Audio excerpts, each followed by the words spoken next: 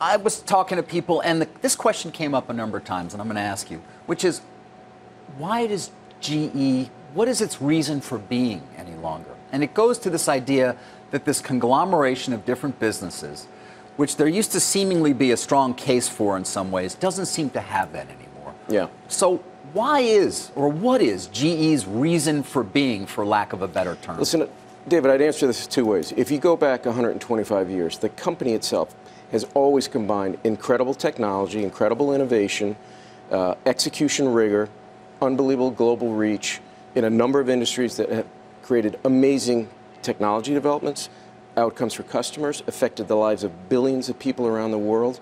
And the company has a special role in the world, and who we are, uh, how we matter in the world, that's not really the issue for the company right now. What matters is the execution and the results and how we deliver is the core issue that I'm focused on.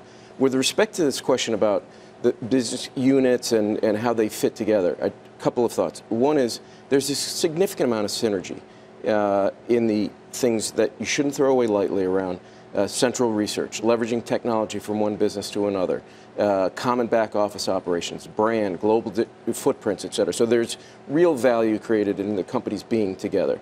That said, we have to prove day in, day out that that format is optimal. I look at that all the time. We have to show that we're spending a certain amount of money to, to at a central level, and that creates value in the business units. I look at that all the time. So um, there are big things like digital and additive. These are massive game-changing investments that we're amortizing over a large portfolio. So if you were trying to do those case by case, healthcare was an example for me. If I was trying to do that on my own, not on the backs of GE, that would be a massive, debilitating investment for that business unit. So I don't reject all the benefits out of hand.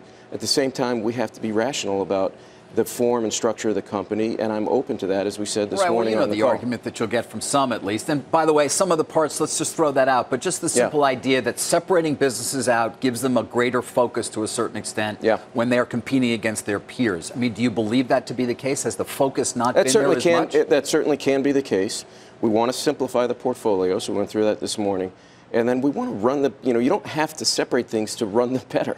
You don't have to have a separated company to have focus and intensity and work on cash and work on cost and work on margin. So I don't accept the theory that the only way to create that is to separate pieces. So I understand that theory, I understand your question we can make the company better right now and still have all the optionality to do whatever we want. So, are you committed to side. that idea, or are you willing to challenge it as well as you continue this review? Idea? The idea that GE should remain together essentially as a conglomeration of these different businesses because there is a benefit. I'm, I'm open to. It. I, I'm committed to improving the operations of the company and then moving forward from there to whatever optionality makes sense for the owners of the company. So I'm not wed to the current format. If you look at the company over 100 years, we've looked different at different points in time. We've been in different industries. You know that in the last 10 or 20 years, a lot sure. of that. So I'm not wed to any current format. I am wed to running the company incredibly well and then moving forward from there to the right things for investors. So we'll see as these come by. Well, when you say in your prepared remarks, we will have a simpler, more focused sure. portfolio, what does that yeah. mean?